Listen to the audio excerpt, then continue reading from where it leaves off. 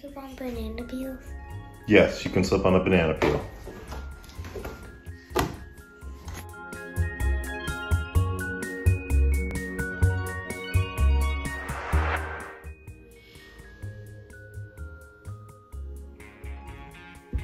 Different.